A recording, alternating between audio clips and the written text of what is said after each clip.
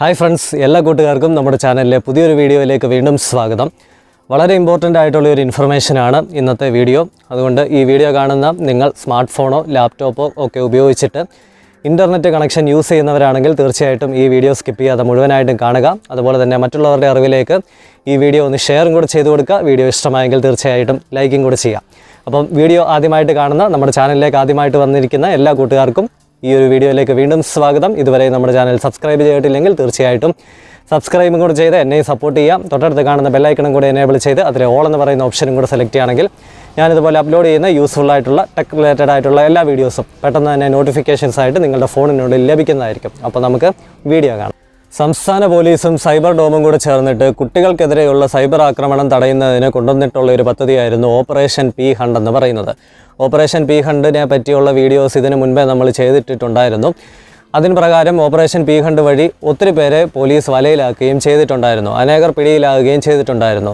അതെന്താണ് അതിന്റെ റീസൺ എന്ന് ചോദിച്ചു കഴിഞ്ഞാൽ നമ്മൾ ഗൂഗിളിനകത്ത് അല്ലെങ്കിൽ ഇന്റർനെറ്റിനകത്ത് കയറി ചൈൽഡ് പോണോഗ്രഫി ചൈൽഡ് സെക്സ് അങ്ങനെയുള്ള വീഡിയോസ് സെർച്ച് ചെയ്യുക അല്ലെങ്കിൽ അത്തരത്തിലുള്ള വീഡിയോസ് കാണാനായിട്ട് ശ്രമിക്കുക ഡൗൺലോഡ് ചെയ്യുക അത്തരത്തിലുള്ള വീഡിയോസും ഫോട്ടോസും ഒക്കെ അപ്ലോഡ് ചെയ്യുക അങ്ങനെയുള്ളത് കുറ്റകൃത്യമാണെന്നും അത്തരത്തിൽ ചെയ്യുന്ന ആൾക്കാരെ കണ്ടുപിടിക്കുന്നതിനും വേണ്ടിയിട്ട് രൂപം കൊടുത്തിട്ടുള്ള ഒരു ഓപ്പറേഷനാണ് ഓപ്പറേഷൻ പി ഹണ്ട് എന്ന് പറയുന്നത്. അതിപ്പോഴും വളരെ നല്ല രീതിയിൽ പ്രവർത്തിച്ചു വരുന്നുണ്ട് അനേകർ പിടിയിലാകുകയും ചെയ്യുന്നുണ്ട്. അപ്പോൾ ഈ ഓപ്പറേഷൻ പി ഹണ്ട് എന്ന് പറയുന്നത് കുറച്ചും കൂടെ സ്ട്രിക്റ്റ് ആക്കിയാണ്. അതായത് റെയിൽവേ പോലീസും കൂടെ ഓപ്പറേഷൻ പി ഹണ്ടിലേക്ക് യോജിക്കുകയാണ് എന്നാണ് നമുക്ക് അവസാനമായിട്ട് കിട്ടുന്ന ന്യൂസുകൾ അറിയിക്കുന്നത്.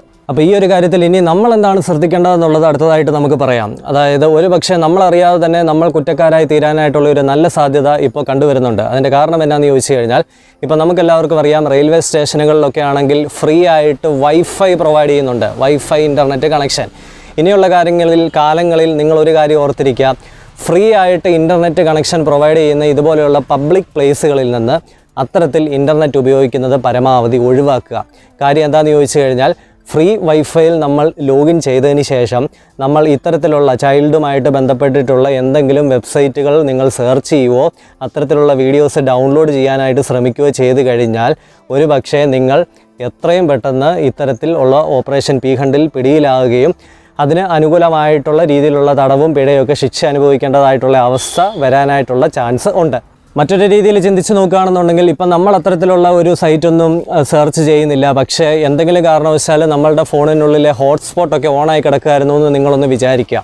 ഹോട്ട്സ്പോട്ടിന് പ്രത്യേകം സെക്യൂരിറ്റി ഒന്നും ഇട്ടിട്ടില്ല. അങ്ങനെ ഉണ്ടെന്നുണ്ടെങ്കിൽ ഒരുപക്ഷെ നിങ്ങളുടെ അടുത്തിരുന്ന ആളായിരിക്കും നിങ്ങളുടെ ഹോട്ട്സ്പോട്ട് കണക്ട് ചെയ്തിട്ട് ഈ പറയുന്ന കണക്ടിവിറ്റി യൂസ് ചെയ്യുന്നത് ഇന്റർനെറ്റ് കണക്ഷൻ യൂസ് ചെയ്യുന്നത്.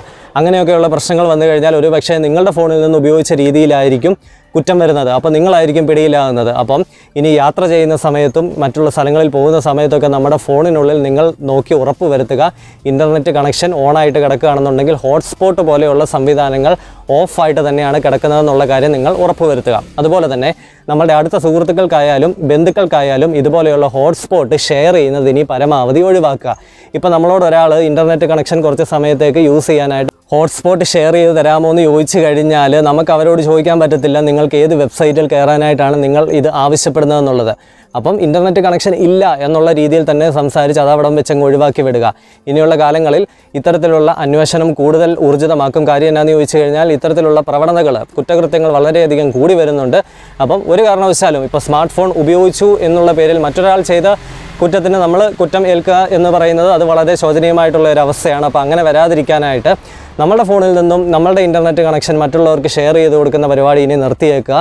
ഇപ്പം അത്യാവശ്യം എല്ലാ ആൾക്കാരുടെ കയ്യിലും സ്മാർട്ട് ഫോൺ ഉണ്ട്. എല്ലാവരും റീചാർജ് ചെയ്തിട്ട് ഇന്റർനെറ്റ് കണക്ഷൻ ഒക്കെ ഉപയോഗിക്കുന്ന തരത്തിലോട്ടൊക്കെ എത്തിയിട്ടുണ്ട്.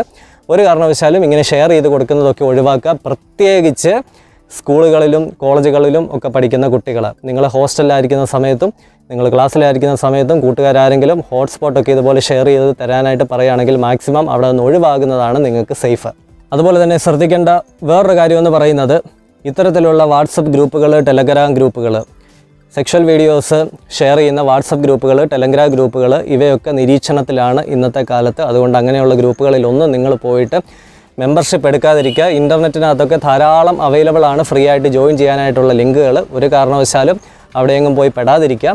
അപ്പോൾ നമ്മളൊരു കാരണവശാൽ നമ്മളിങ്ങനെ ഓർക്കുമായിരിക്കും. അതായത് നമ്മളെയൊക്കെ ആര് പിടിക്കാനായിരിക്കും എന്നുള്ളത്. പക്ഷേ ഒരു കാര്യം നമ്മൾ മനസ്സിലാക്കിയിരിക്കുക ഇപ്പോൾ ആയിരം പേര് തെറ്റ് ചെയ്ത് കഴിഞ്ഞാൽ ഒരാളെ ആയിരിക്കും പിടിക്കുന്നത്.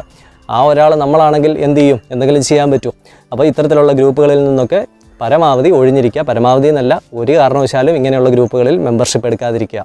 അപ്പോൾ ഹൈ ഫീച്ചേഴ്സ് ഉള്ള സ്മാർട്ട് ഫോൺസൊക്കെ ഉപയോഗിക്കുന്ന സ്കൂൾ കുട്ടികൾ അതുപോലെ തന്നെ കോളേജിൽ പഠിക്കുന്ന ആൾക്കാർ ഹോസ്റ്റലുകളിൽ നിൽക്കുന്ന ആൾക്കാർ അത് എന്ത് കോഴ്സുകളും ആയിക്കോട്ടെ നിങ്ങൾ എന്ത് പഠിക്കുക ആയിക്കോട്ടെ ജോലി ആയിക്കോട്ടെ നിങ്ങൾ ശ്രദ്ധിക്കേണ്ട മൂന്ന് കാര്യങ്ങളാണ് ഇന്നത്തെ വീഡിയോയിലൂടെ നമ്മൾ പറഞ്ഞത്. ഒന്നാമത്തെ കാര്യം ഫ്രീ ആയിട്ട് കിട്ടുന്ന വൈഫൈ കണക്ഷനൊക്കെ ഉപയോഗിക്കുന്നത് പരമാവധി ഒഴിവാക്കുക.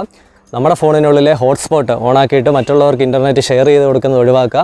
അനാവശ്യമായിട്ടുള്ള വാട്സപ്പ് ഗ്രൂപ്പുകളിലും ടെലഗ്രാം ഗ്രൂപ്പുകളിലും ചേരുന്നത് ഒഴിവാക്കുക. അപ്പോൾ ഈ ഒരു വീഡിയോ ഇഷ്ടമായെങ്കിൽ തീർച്ചയായിട്ടും ലൈക്ക് ചെയ്യുക.